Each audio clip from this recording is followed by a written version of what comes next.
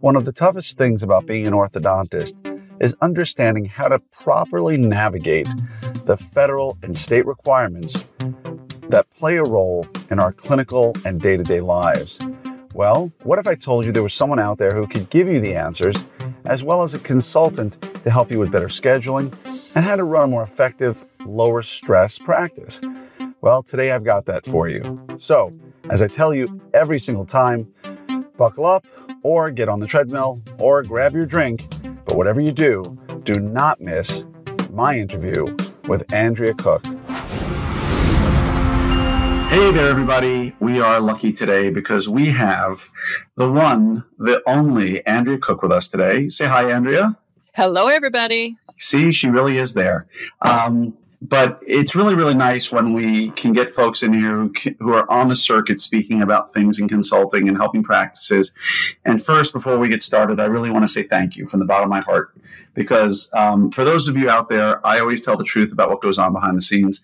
And technical, spe- technically speaking, we've had so many glitches trying to make this happen. She has been so remarkably patient to bring this to you. So thank you, Andrea. I appreciate it. You're welcome. I do feel like I was causing part of the issue, so but I appreciate you having me on and patience with me.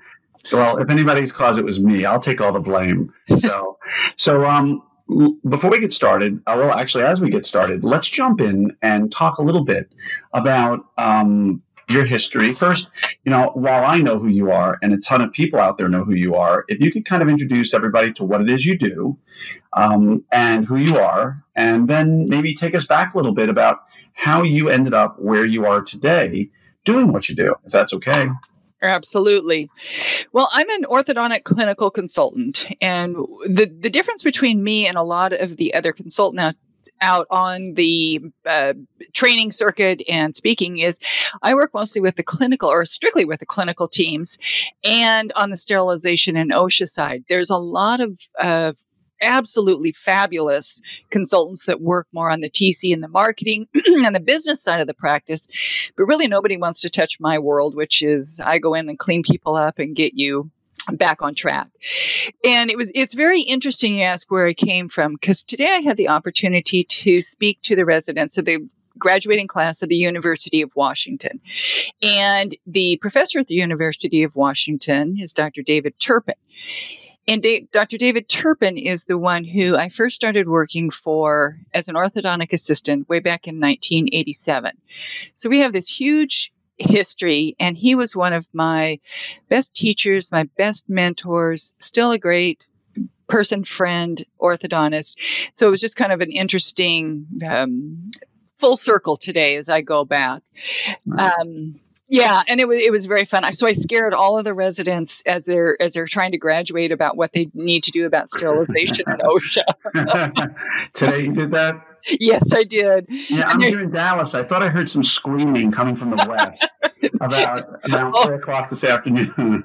you, you should have, because one of them said, "I don't know if I want to graduate and get out of this program and deal with all of this stuff because it really isn't fun." What I, you know, the OSHA sterilization side of it, but no. And do you know how many things in my office I've had to change without anybody, without me ever having seen you speak up until recently? Do you know how many things I've had to change in my office because my team heard from a friend something that you said, and uh, and it had to suddenly change everything in our practice. So uh, you put the fear of God into me, an assistant out there, um, and you know I'm just going to bury my head in the ground and pretend I never heard it. That's all I'm saying. As long I'm as just, they're, as long as they've got you taken care of, you're good to go. yeah, exactly. So, yeah. Um, so you help in schools and you help in practices. What are some of the the topics that you typically cover? Anything after a patient says yes to your TC, they come into my world.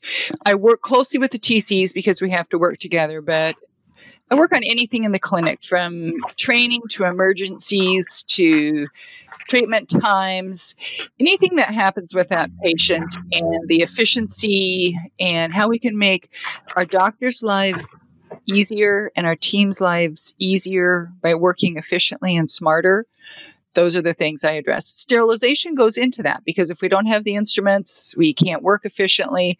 OSHA goes into that because we need to practice good, safe practices for our teams and our doctors.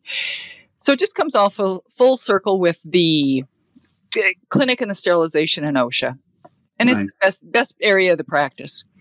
So when you when you look at um, when you look at practices and they bring you in, what are some of the more um, where, where are the areas where most practices really need your help? What is it that they're really looking for? Um, and I'll stop there because I have another question for you after that. What is the number one thing you get called into offices to do? And I guess the follow up would be, what is the number one thing you should be getting brought into practices to do that you're not being brought in for? Probably the biggest pain point for practices when they call me is, oh my gosh, my emergencies are out of control. I need help getting that number back in line. And the the resolution for that is is sometimes different than what doctors think. Sometimes it is a result of we have a poor scheduler up front that dumps everybody into an emergency appointment. Sometimes it is um, truly a clinical problem that we have bond failures. We have things like that going on, and some of the th- some of the times it's training. They don't know what's going on. So that's probably the one of the the SOS calls that I get that say, "Oh my, we've got to get this under control." Two of the things I like to be brought in for are one of them is developing training. I think there's in the orthodontic industry, you hire somebody, you throw them into a chair, and there's a pretty good uh, failure rate as far as clinicians getting frustrated and either leaving or the doctor getting frustrated with she's just not catching on. But it's all boils down to poor training. So I encourage offices to do a lot of really good training to develop team members that want to be with you for a long time, that want to be a mini doctor. Um, that's how I was trained, and it's it's a great way to bring team members on and keep them. The other one is sterilization. There's still a lot of burying the head in the sand about sterilization compliance and OSHA I, I think I literally use those words that I'm just going to bury my head in the sand. I think I actually, not that I would, but I think I actually use those words. Most do. Yeah. Um, there was just a in in Burien, Washington, was just just a little bit north of me. There was actually a recent breach where uh, the state dental board got called in, and the doctor got a nine million dollar settlement against him for lapses in eh, simple things. Documentation is a big piece of their checklist now that they're really pushing for state dental board and OSHA, and so it's uh, nobody wants to deal with this, but it's a good time to not bury your head in the sand.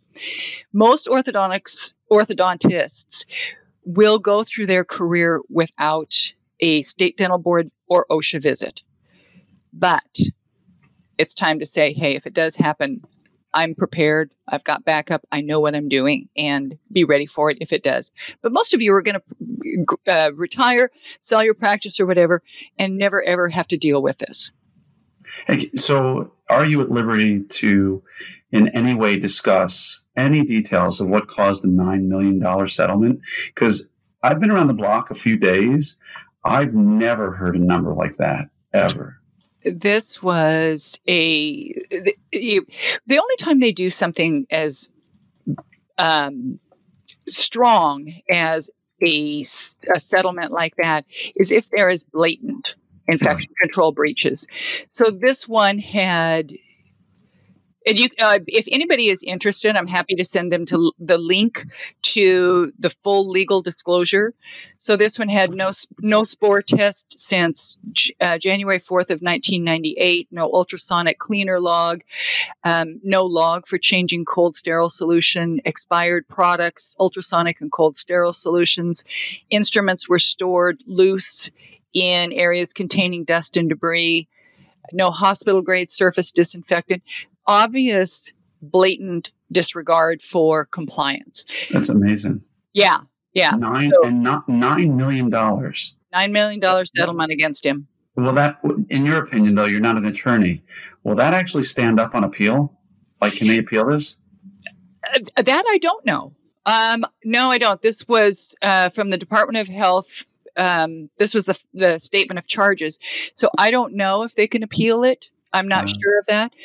And at, at this point, I'm not really sure that it matters.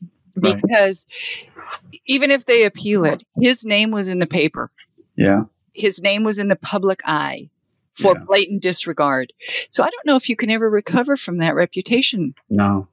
no so amazing. Um, and and if we can, just for a quick sidetrack, you mentioned two agencies, and for those out there who may be younger or less experienced or just don't know, it's very different what the state board and what OSHA are looking for. Correct? Absolutely. One, one is looking predominantly for things related to workplace safety and mm-hmm. the other is looking predominantly for patient patient safety, correct? Correct. Okay. And OSHA obviously being the one looking for workplace and the other being state board being for protecting the public, if you will. Correct. Be- because I often hear people make misstatements. You know, you'll hear your team say, you know, um, you better bag those instruments because if you don't, that's an OSHA violation.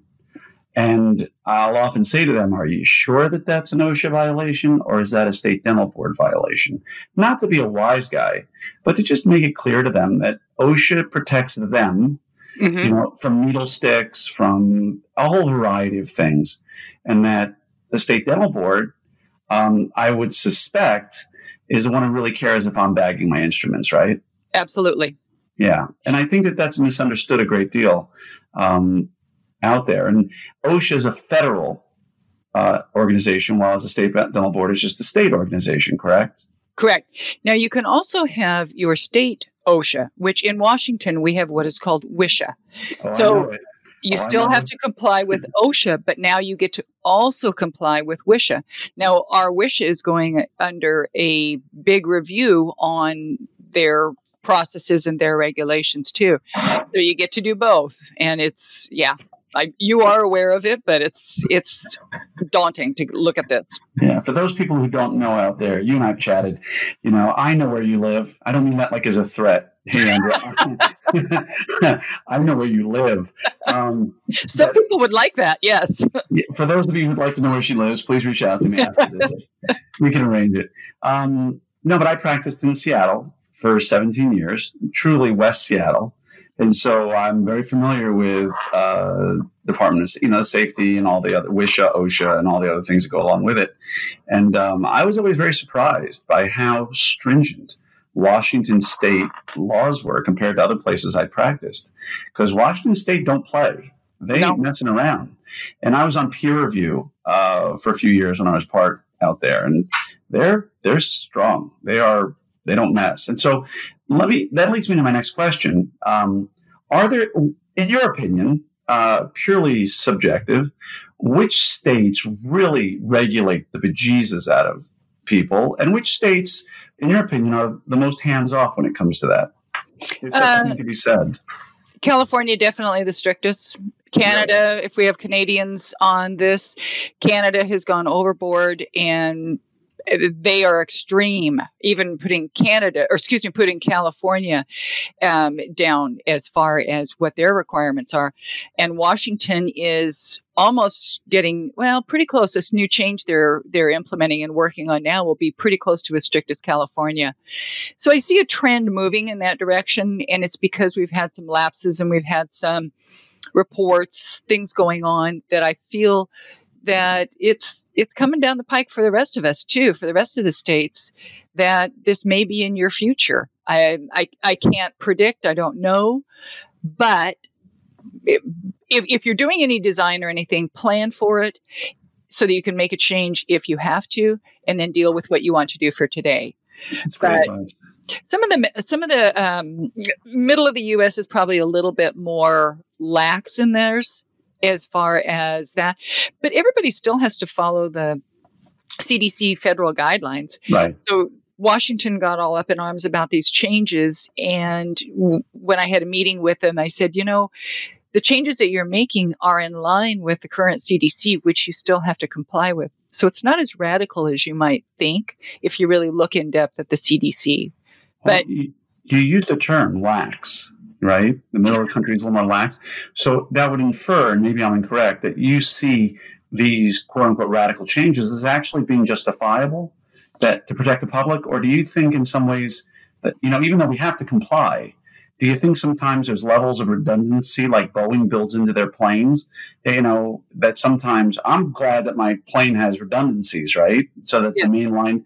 Do you feel that sometimes they're going a little bit overboard with these things, or do you feel like what you see implemented is actually really solid and good and, and should be implemented the way it is? Uh, a little bit of both. I feel some of the, the regulations and some of the things that they require us to do make me feel comfortable, would make me feel comfortable as a patient in a practice, knowing that I'm taken care of and that I don't have to risk a transmission of anything uh, disease or anything. But then we have to get into the reality and making these ha- things be able to happen when I have offices seeing 100 patients a day. And how are we going to physically make that happen? So I find a little bit of challenge in that it, over the top. Right. Um, and I get they have to protect the best. I get that. There is some redundancy between the state regulations and the federal regulations. There, you always have to have follow the federal if unless your state is more stringent, then you have to add more. Like California, more stringent, so I have to follow federal and state as well. But some of it is is very very challenging to justify to the doctors and the team on why you need to do this and how it's going to be implemented and what we're going to gain from doing it public safety and team safety. So I do have a hard time with some of their some of their guidelines. Okay. I mean, it makes perfect sense. Um, you mentioned the word radical when you referred to the Canadian laws that have just happened. Um, can you explain a little bit about, like, an example of what might be termed a radical uh, rule? Um, one of theirs is the spore test has to be have to be done on a daily basis.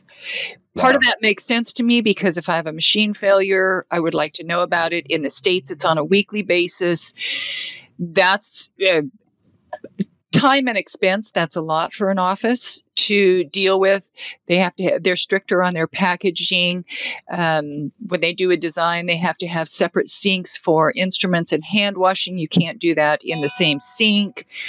Causing some issues with space trying to fit everything into a realistic space is a challenge as well so they they had some challenges a few years ago and then went, like I said, they went full tilt on, you know, we're going to make sure we are safe.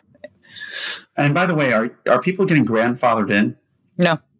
So if I have a practice, I am maxed out to my limits with space, and I'm practicing in Burien, and which is Washington for those out there who don't know, and um, all of a sudden now I've got to find a place for a second sink to wash hands. Correct. Interesting. Yeah. There is I mean, no grandfathering in. That when they make the ch- changes, as a dental health care professional, your responsibility is to be aware of the changes, where the, the guidelines are, and what you need to do to comply. Wow. And I guess all of this, as you said, is built upon the ever changing federal CDC guidelines. Correct. So if Washington state is implementing that, they're only implementing it because the CDC made an updated policy that they are now following. They will never be stricter than the CDC, I suspect, correct? Um, they, they follow pretty closely, but they can be stricter than, like California. In, uh, for federal CDC guidelines, it states instruments that are going to be used immediately or within a short time do not need to be packaged prior to sterilization. California blanket statement, everything is packaged, period. Prior prior to sterilization. So they can implement a stricter guidelines for the federal than the federal, but at minimum you have to follow the federal.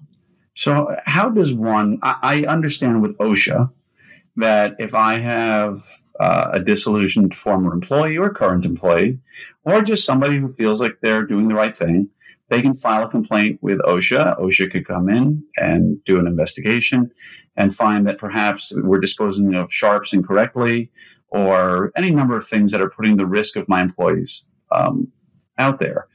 Um, how does one typically get into trouble with the state board for sterilization violations. Where does this get found? And like you said, most people will never have a visit. But when they do have a visit, how is that visit propagated? How does it start?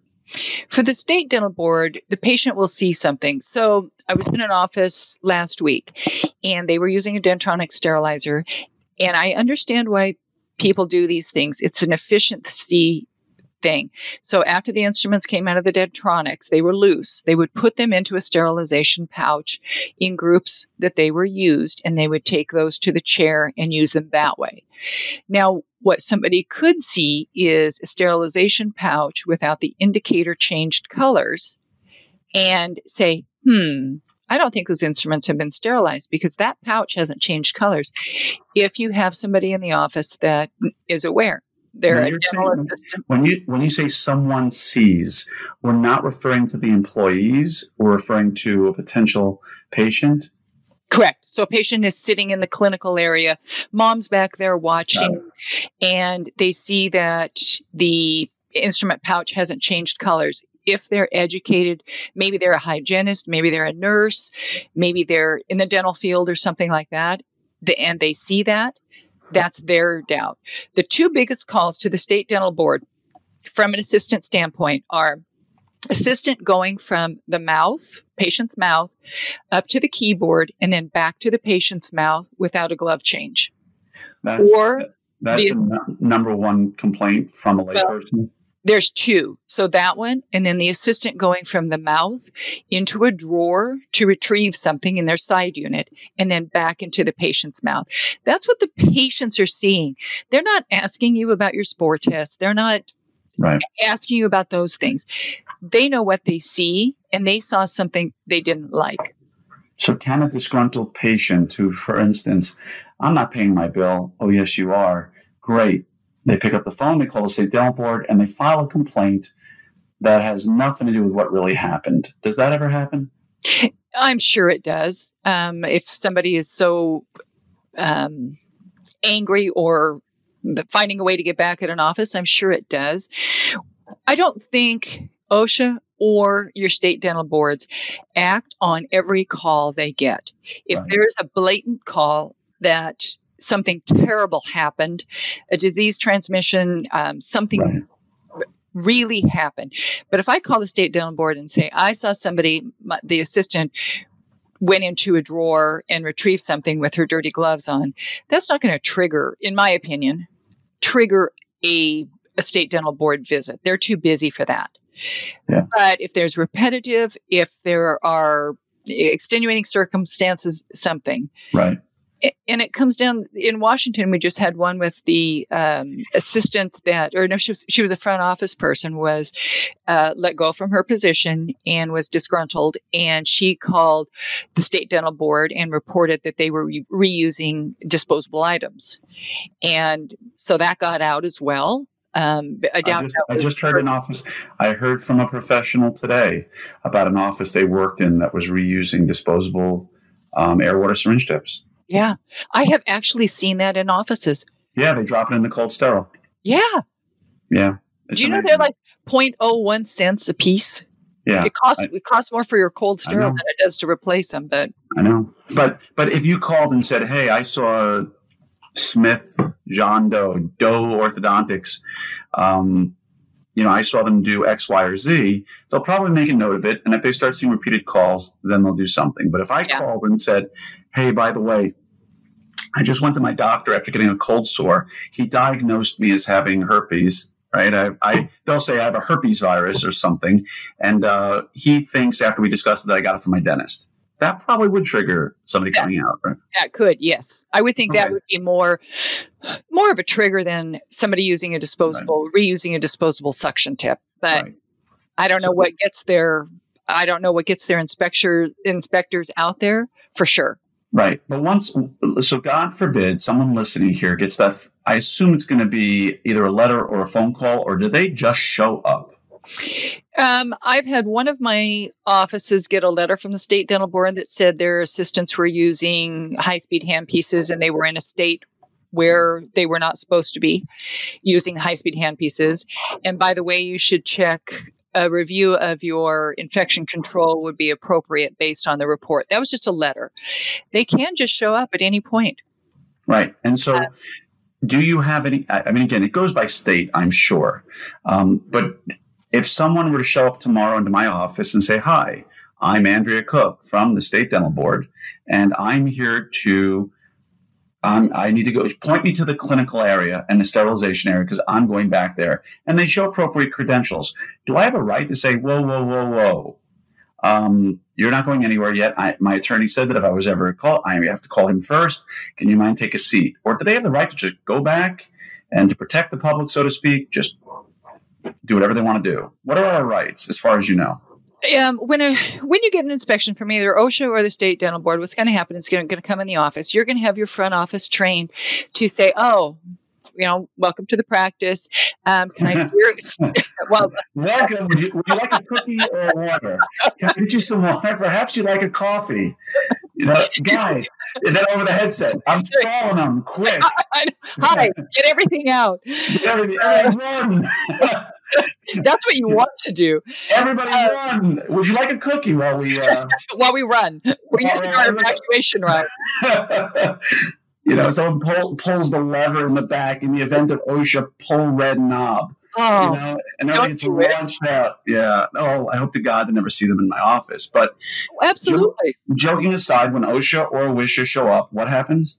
So they show up. Your front desk will ask them for two pieces of identification, stating one that who they are, who they are, say they are, and what department they are from.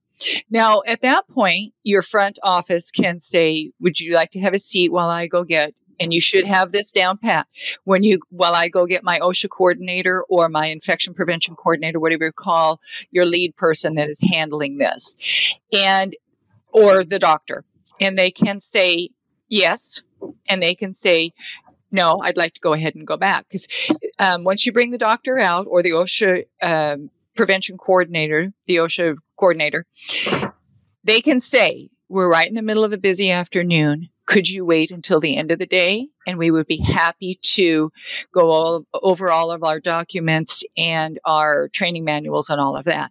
They can say, Yes, I'd be glad to have a seat and I will wait. And they can mm. wait there. They can wait in the clinical area as well.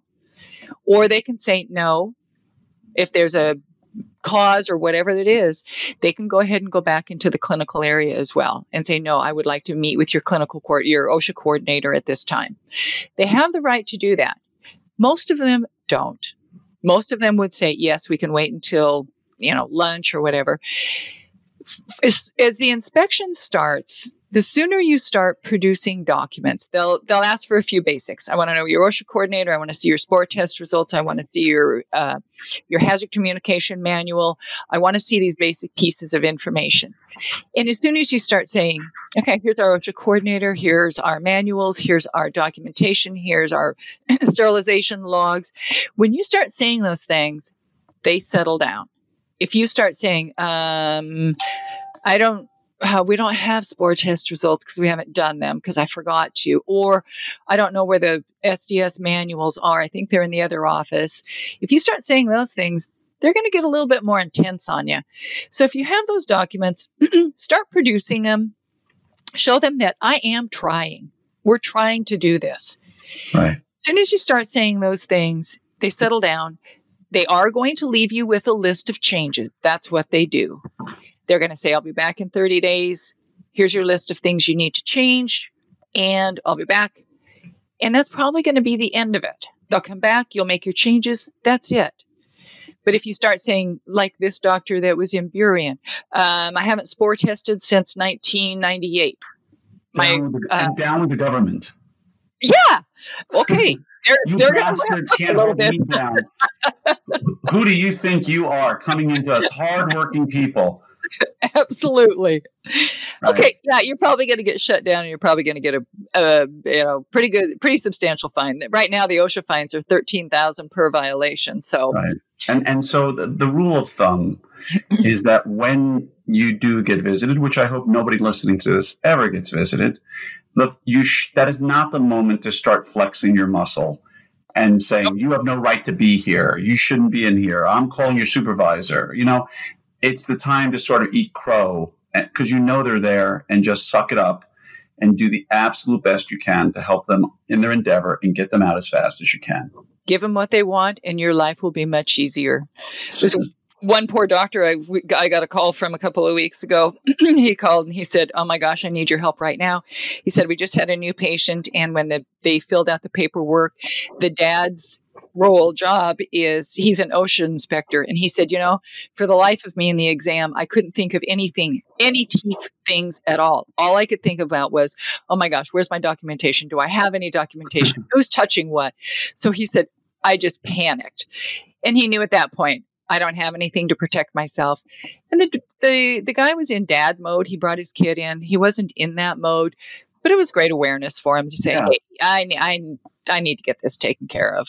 Yeah, yeah, that's good advice, and um, it's unfortunate when it happens, but I used to have a friend whose dad trained people in OSHA years and right when I mean, if you're old enough like me, you can remember when OSHA became OSHA, right? Yeah, and yeah. When, I remember it. I'm trying to guess what year it was, but I'm guessing early 90s, like 92, 93, 94. We're there, yeah. You know, I had a friend whose dad, who was an entrepreneur, saw the laws come out and immediately started creating OSHA training manuals and documentation manuals and all the things and went into offices and you know, it's unfortunate we need these things, but we read about the cases where people do get diseases sometimes yeah. on purpose and sometimes by accident because of what people are doing and negligence. Yeah. What happens, what happens when they come in for a non-infectious disease uh, and the state board comes in? Because we're talking OSHA. What happens when the state dental board comes in and says, you know, like you said, the letter they got about high-speed handpieces and you know, please check for infection control and all those other things. What happens in those cases? How if they have a report that someone was doing something that was illegal? My assistant, I'll give you something blatant that just doesn't happen, so that nobody could ever say it was them. You know, we have a report that your assistants are using scalpels to uncover impacted second molars, right? Mm-hmm. Uh, obviously, I don't think there's a practice on earth that has their assistants uncovering second molars with scalpels, right? None of mine. No, but it's a blatant violation of state law. But when they come in, their assistants are not using scalpels to uncover second molars. What happens? How, how does that whole thing sort of work itself out? I don't know if they can prove it if they don't see it. They, I mean, they can ask the assistants, but if the assistants all say, "Oh no, you know, we don't use scalpels to uncover second molars," if they say that, unless they stay in the office and actually see it happening, I don't know what would happen at that point. Yeah. Um, usually, there's enough fear in people that they say, oh, "Okay, you know, we've been using scalpels. We need to stop doing that, or it is going to get discovered and I'm going to lose my license. Right. I don't know if that does it, but unless they come in and see it or get one of the assistants to say something, then that. Now that mm-hmm. letter that I re- that the doctor received, it a lot of it stems back to there was a an assistant let go. Yeah. And, and here we here we are. I'm, I'm, you know, it's an interesting discussion because in our groups, we have a lot of discussions about, well, what do I do with my, my assistant does this? What if my assistant does that? And, you know, many times, yeah, not many times in life, it's often worth looking at the long term consequences of doing something you don't want to do versus, you know, feeling like you're right and I'll show them and doing the cheaper thing. Someone leaves and you decide I'm not going to pay them any severance because of X, Y, or Z, as opposed to maintaining a great relationship with them when they leave. Um, mm-hmm. Because a scorned former employee, whether they have cause or no cause, can pick up the phone at any moment and level a, a, a, justified or unjustified complaint against you with the state board. And I'm not saying people should live in fear, but sometimes we're penny wise and pound foolish. And and, and I, I agree. I I agree, and I, I like to you know, well treated employees don't do things like that. Well treated employees respect their doctors, and there's a mutual respect that goes along with that. So uh, I I don't feel like every employee that's let go is going to be that person that calls, in. most of them just realize yes, this was you know I, I deserved it, or for whatever reason, but it usually stems around money. Yeah, Most of them do. Unfortunate. And yeah. you you and I joked a little bit, not really a joke, but anybody listening to this out there, and here's about the state dental board, right? State dental boards have been on the news for other things recently, particularly their inability to keep up with one certain company in terms of mm-hmm. lawsuits. And there's a lot of pending legislation going on around the United States right now that may shape teledentistry in every state and how certain companies can operate in the orthodontic uh, sphere. And you and I sort of half heartedly commented on how those of us who actually are following the rules, i.e., most orthodontists, are being burdened with tremendous rules and regulations that these other companies are not and then it just it just seems like the it's not just about being able to operate from a distance it's about w- operating under all the laws which we'll all say it it's not fair but what are you going to do right yeah that's it. it yes it's it's not fair and i don't agree with some of the regulations and i don't but push come to shove it's a regulation until you get that regulation changed or it's something happens that's what that's what we have to go by. Yeah. And if you don't, like I said, the risk of, of getting an inspection is pretty slim, but. Yeah, yeah, I agree. And it's, it, but the point we were making earlier is that the out of state aligner companies don't have assistants. No. They don't let go of employees in the state because they don't have employees, right? They, yeah. It's just, it's unbelievable that the, the ever widening gap between the companies that are operating on the fringe of the law are actually operating on the fringe of the law. They're not. They don't have to fall under the rules and regulations that we do, and uh, it's an unfair playing field. Now, until someone's able to take them on and level that playing field, and I don't know who will. Um, yeah. You know, it is what it is. But there's no OSHA inspector who's going to suddenly show up at the headquarters one morning and say, "Hey, we have a complaint from a former employee that you guys are doing X, Y, or Z." But all of us are sort of, sort of unfortunately, uh, subject to that. And it's I'm not going to complain about it because I can't. It's just an observation more than anything. And that's that's what it is. It's an observation and I agree it's unfair and I agree these are strict guidelines.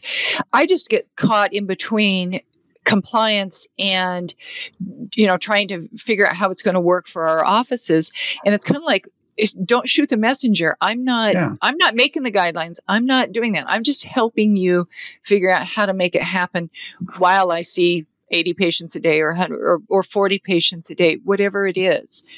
Just that go between and um, yeah, I've I've taken some bullets for it too. So yeah, no, I, have been there and I've seen it, and um, even at times I've been I Andrea, if this is a confession, confessional, do you mind if I just? there was one time where my assistant came to me and said, "I went to this lecture and I saw Andrea Cook and she said this," and I turned to her, and it may have been a tough morning. It was a while ago, and I said, "I don't care what she said."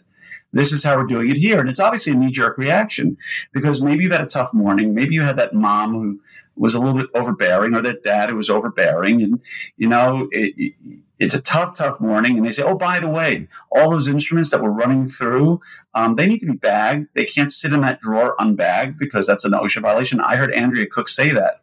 And I think it's important for people to realize that it's not use. You're just reporting. You know, you're like a New York Times or New York Post or whomever reporter. You didn't start the fire that burned down the tenement building. You didn't create that policy in Washington that you're reporting now they, they're going to follow through and raise our taxes on.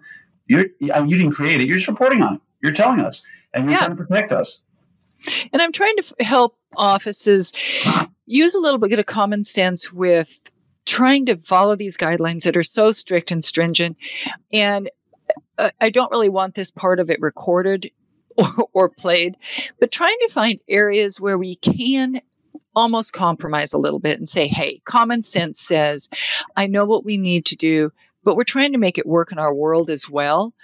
And so I don't want it being said that I compromise on everything and we can just, you know, slide through, but there has to be some kind of a uh, balance between the, the stringent guidelines and true application. So, yeah, do I need to take that, that part? Do I, need to, do I need to actually remove that?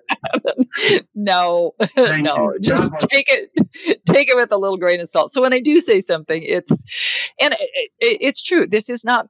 Uh, I'm the messenger. I'm not the the regulator. I'm not the inspector. I'm not any regulatory body at all. And offices that have worked with me, they say, you know, they'll all come in and, and things are definitely not in compliance. And they say, you don't, you don't call the uh, OSHA, the state dental board, do you? And I said, no, that's not my place, or I wouldn't no. have a job ever again. I just help you implement changes that'll make it better for you, yeah. is all. So here's the, the tough question. When, if ever, was the last time you realized that maybe you'd given advice that was incorrect? Has it ever happened? Yeah. Where you misinterpreted yeah. the law and said, hey guys, you know, I said this, but you know what? I think I interpreted that one wrong. And I'm the first one to to say I am not perfect. I read the guidelines when there's changes I try and interpret them.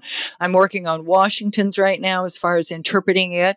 And yeah, everybody i'm human. I make errors. I hope that when i do make an error i fess up completely and say hey i read that wrong. This is how we're going to do it. This is what they really meant.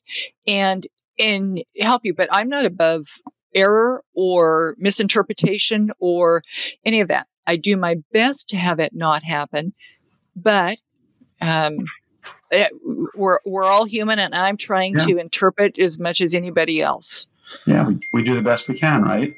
Yeah. Um, yeah. So I know you do beyond just sterilization because it's not exciting, but it is part of our lives.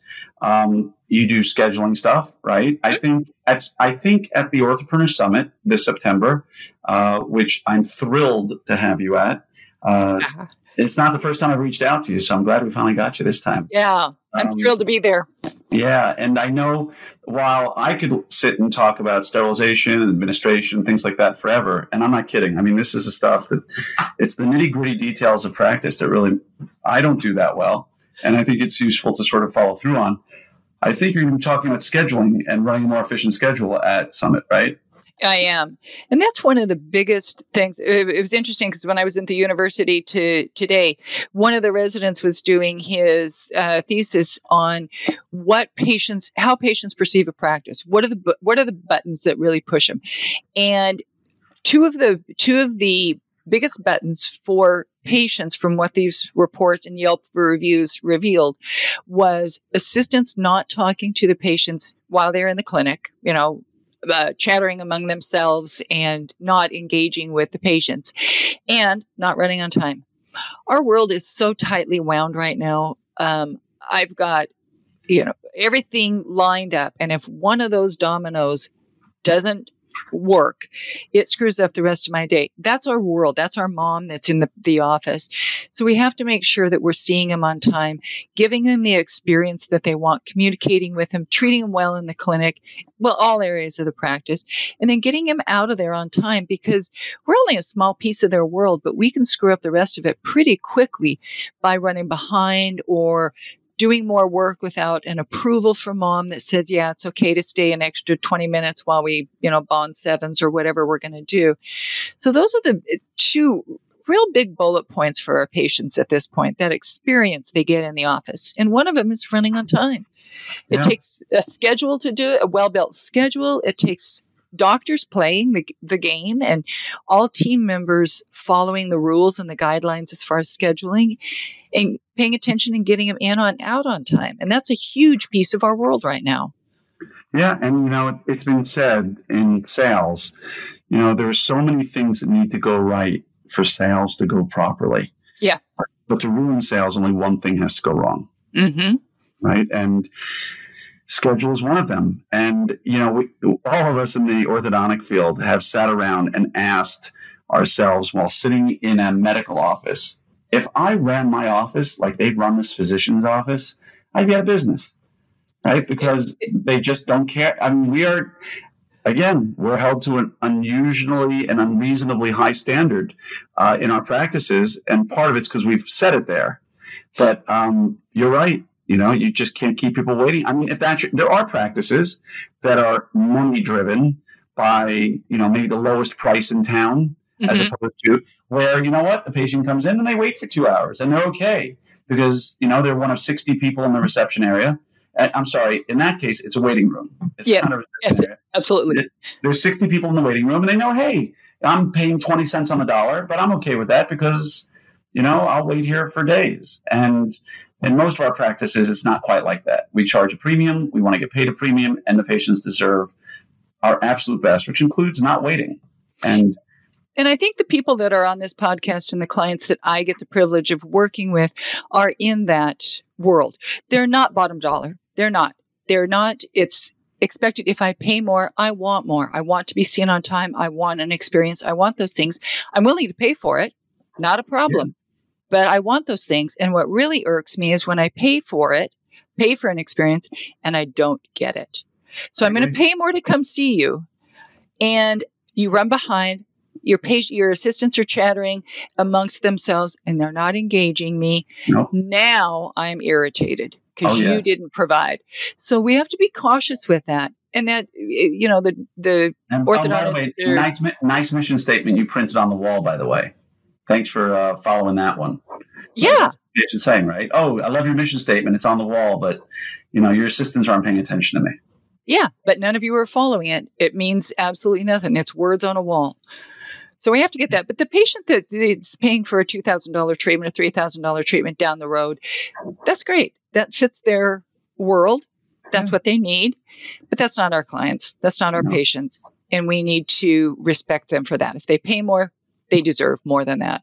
And Okay. running on time is a huge piece of it.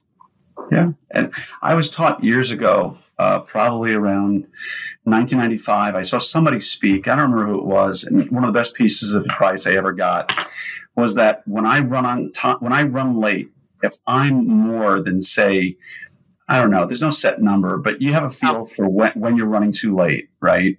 hmm I, I personally, my whole career, I don't send out an assistant to apologize for me. I take my gloves off, I walk out to the reception area, I sit down across from that patient, and I apologize personally. To this day, I still do that.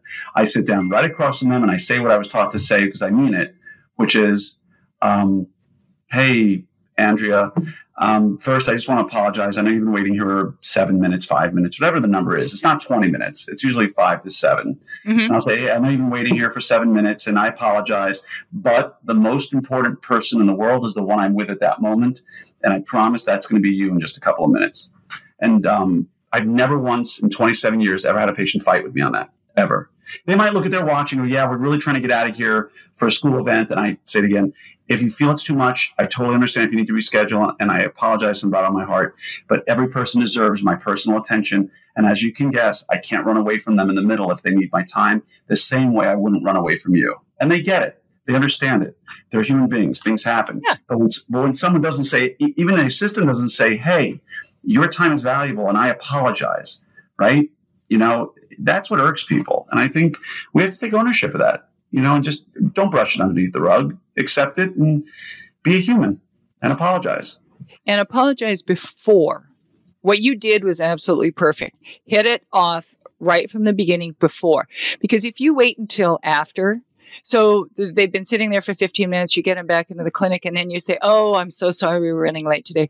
That falls on a little bit of deaf ears. But if you head it off from the beginning, and then you give them that option to say, If this doesn't work, you can reschedule, and get- you know, give them those options, that's taking it on head on and that means so much to patients rather than a, a you know blanket hey i'm sorry we're running late today at the end of the appointment Yeah. that, that And doesn't carry weight And I, you know, I what I found, and again, it's this is not my bible of how to treat people, but it's something I've just come across a couple of tens of thousands of times.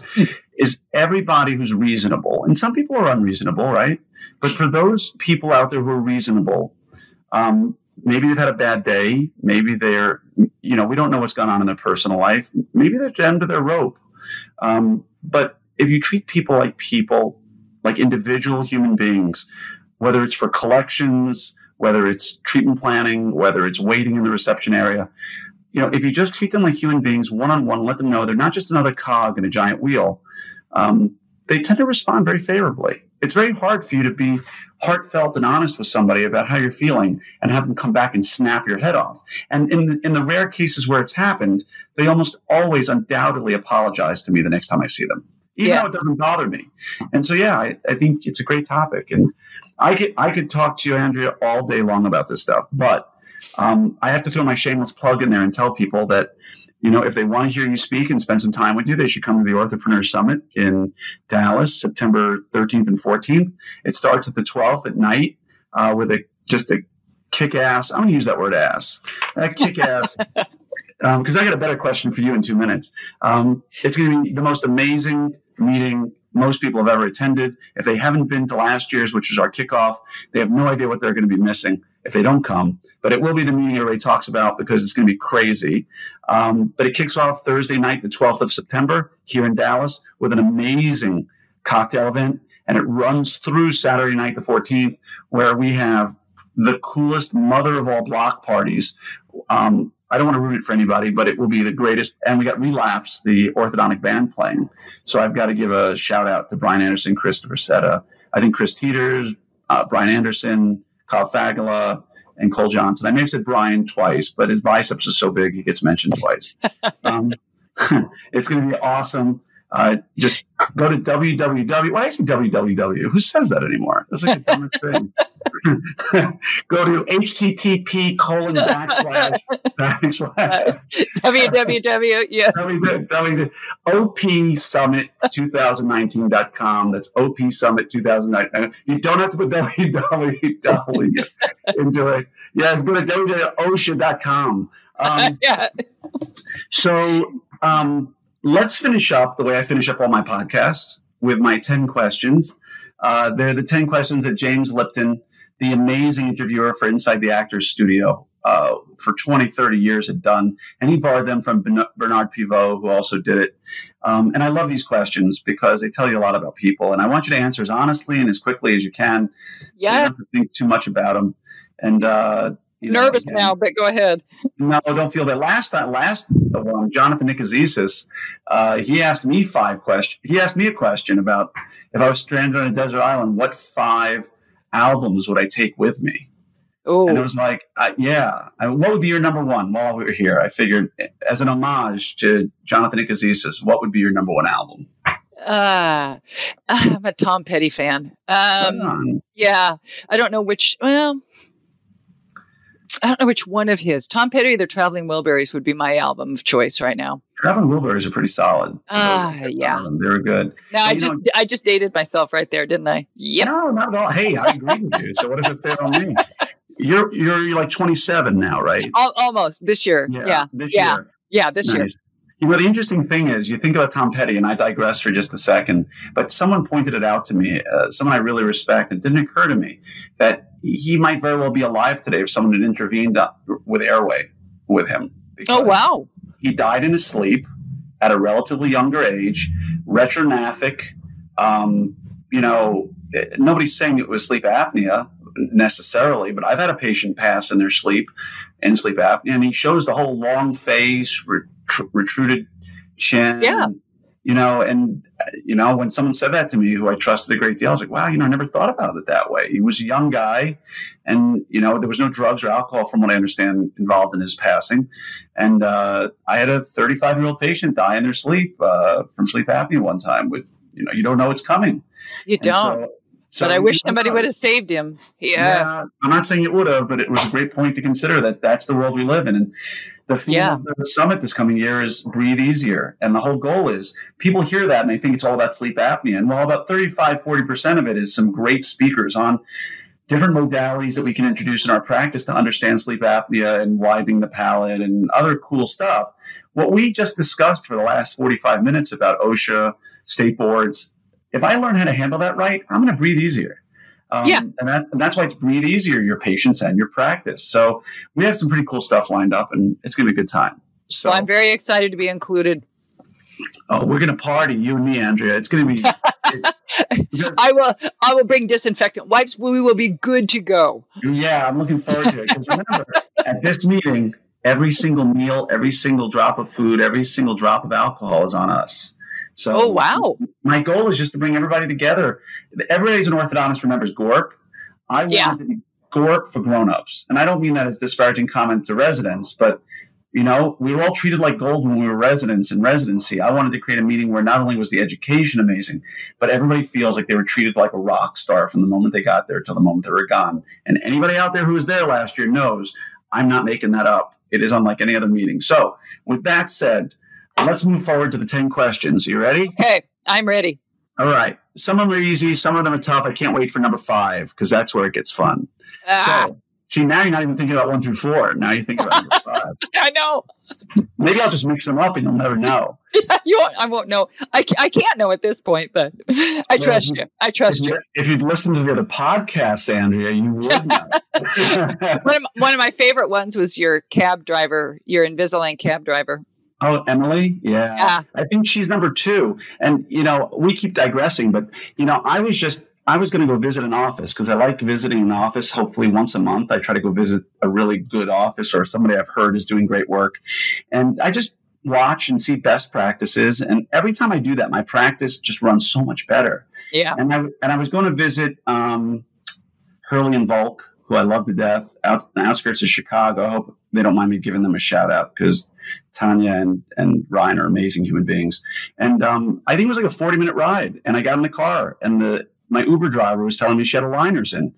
And uh, and she asked me, she said, what do you do? I said, I'm orthodontist. She goes, oh, check out my Invisalign. And I said, oh, that's cool. Who's doing it? And we figured out that she had a general dentist doing it, not an orthodontist. And the more I talked to her, the more it just started making more sense. And I had to ask her about her experience. And if you listen to it, like you said, the, the second one, it was so interesting to hear her take and how she went to a general dentist because all of her friends went to general dentists because all the orthodontists they went to said they don't do Invisalign or they wouldn't treat her with Invisalign. And the GPs who didn't know better did. And that's why they ended up, it was like the weirdest thing. It was really great Yeah. insight. So um, now it's your turn to get your 10 questions. So there. Okay. It's almost Passover. So in a Jewish household, we have the 10, the 10 plagues that we recount. We're going to give you the 10 questions now. So Yeah. here you go. okay. What, what is your favorite word? Absolutely. Ooh. What is your least favorite word? Uh, um, always and never. Ooh. That's which is two. Which is two. And I apologize. Um, okay. So, what turns you on creatively, spiritually, or emotionally?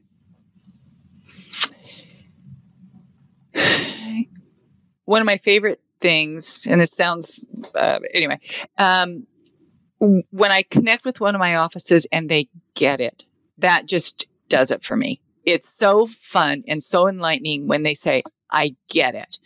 So if I can teach somebody something and it, it makes sense and they understand it, that just really drives me business wise. Personally, I have four grandkids and they just melt my world. Oh, that's nice. How many kids do you have? I have two, I have- Nice. two kids, four grandkids, and that's all I'm going to get. They're both done. so, two kids, four grandkids, eight great gra- grandkids, 16. You know, just keep going by twos, right? Yeah, like yeah. that. Yeah. So, what turns you off?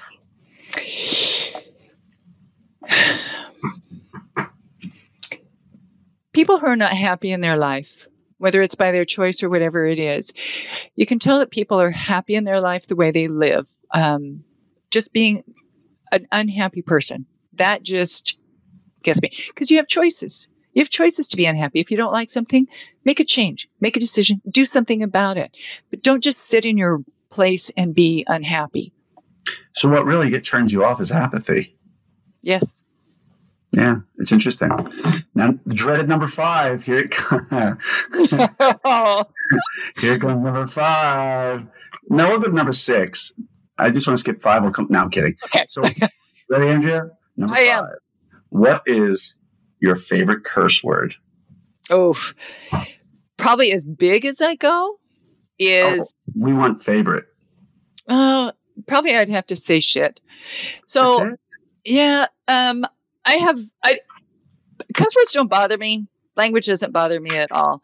Um, it doesn't come out of my mouth very easily eh, Yeah. or very often. So my kids had an intervention one time where they were going to help me and try and teach me how to speak that language, and I failed miserably. I said, I just can't do that. Oh, come on, mom, you can do it. No, I, I just can't. So my It's kids okay. are good for something. Oh, they tried. You know, They tried. I failed. Yeah. Yeah, I'm okay with that. my name is Andrea, and I can't curse. Right? You know? My favorite one ever when, when James Lipton used to do this, he would question the world's most famous actors, actresses, directors. You know, just remarkable. Richard Attenborough, like Meryl Streep. You know, uh, people from Matthew McConaughey to Al Pacino. I mean, like everybody came on his show. And I always remember my favorite curse word that was ever said on the show, which ultimately became arguably my favorite one, which you never ever hear anybody say, was Alec Baldwin said ass bag. I've never, I've never heard the word ass bag, but he used it in a sentence. It was great. Oh, it makes total sense in a sentence. Yeah.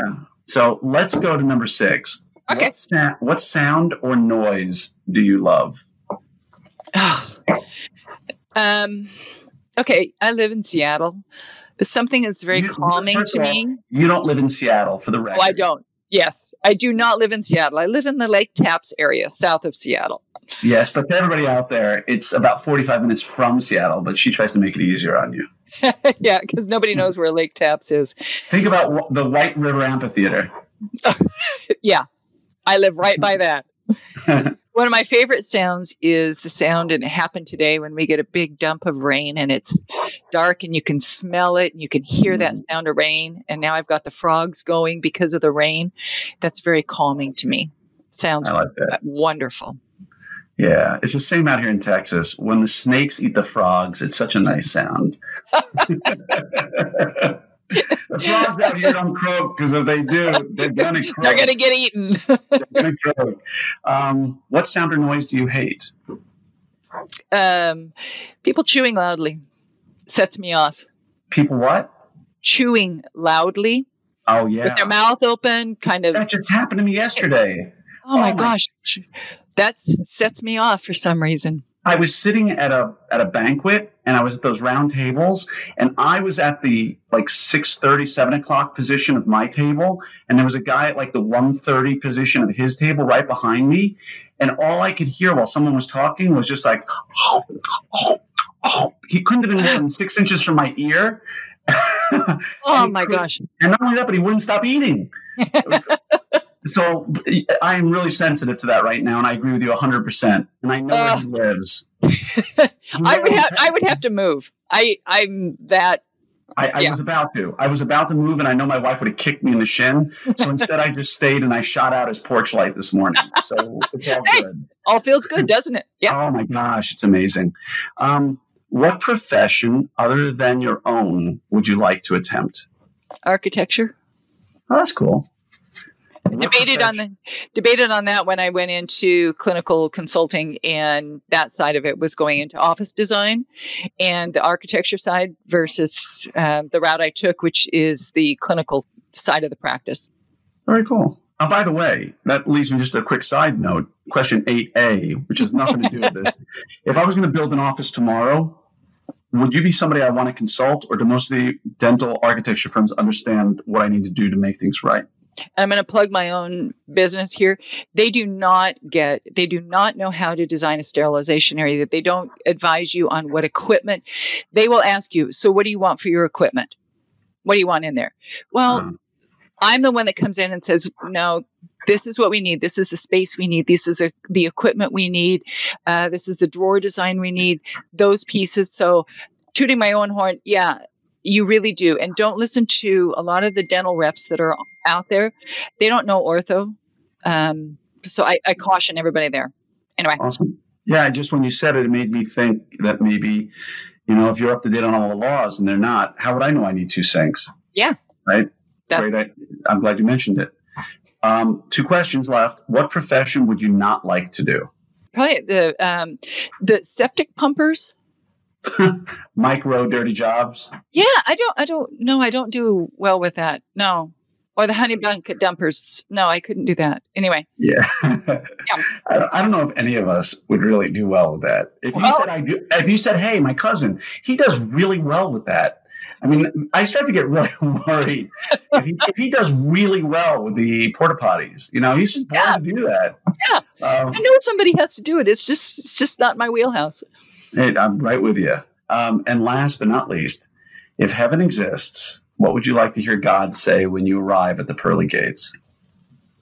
You have lived a good life. Amen. I like that. I have no doubt you have. And I know you've helped a lot of people. So I, I thank you from the bottom of my heart for being here today and spending time with me and, you know, a thousand of our closest friends out here. Um, I'm really, really looking forward to spending some time with you in September at the summit.